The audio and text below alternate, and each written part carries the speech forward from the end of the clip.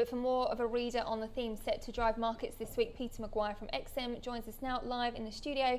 Peter, welcome to the program this morning. Good morning, Kara. It's, Hello, Andrew. It's Hi. pretty mixed out there at the moment, isn't it? The Australian sure. dollar obviously in focus overnight yeah. or on Friday because of that pop through the 78 mark. Mm. But what's on the docket this week that could move I guess both Australian dollar and local equity markets other than reporting? Well, I think the Aussie dollar, you know, that, that US, I'm, I'm concerned as far as where Powell plays this week. We've got some announcements from on Wednesday and Thursday. Also, uh, the Australian, British, and Japanese central banks are talking, and of course, they're, well, when I say that, their governments are talking.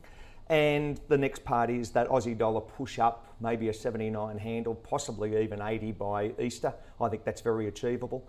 And maybe we're on the tailwind of the UK pound, which is now at 140. We spoke on that a couple of weeks back about 136. So it's been an enormous trade to the upside. So vaccine rollouts commencing today and all of that possibly pushing Aussie dollar higher.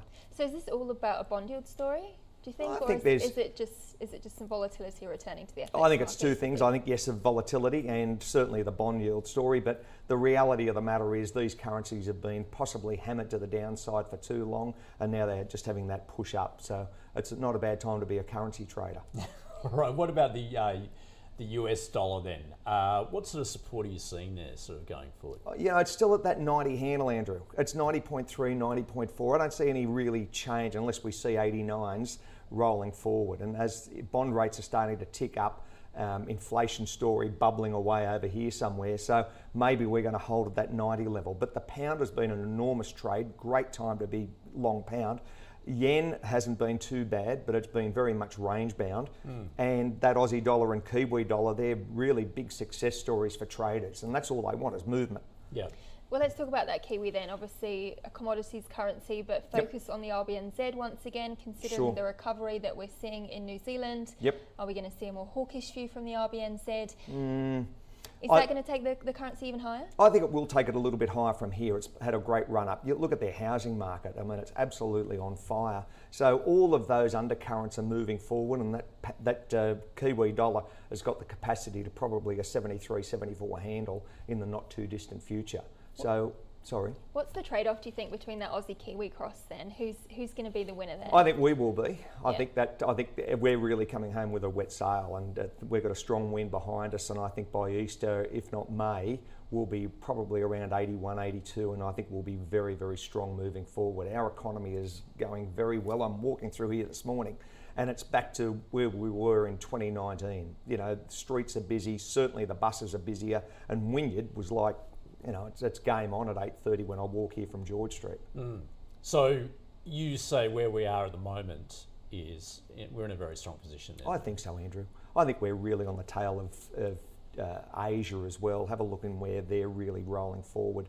China's performing very, very well. So is a lot of parts of Asia. Indonesia's a little bit mixed, but yeah, overall we're doing okay. Do you feel as though, like, as, as, far as Australian equities are concerned, the market is sort of underperforming, certainly when you put it sort of relative to US stocks? Yeah, we've had a big march up, and I'm not sure how much further there is. It comes down to, you know, those earnings and uh, activity in the market. So, I, you know, from a retail trader's mindset, they're really bullish US equities. Now, are we really at that end of that hyper cycle? And is it really just the hot air running through now? So maybe there's a little bit of more uptick, but um, markets don't go up forever, Andrew.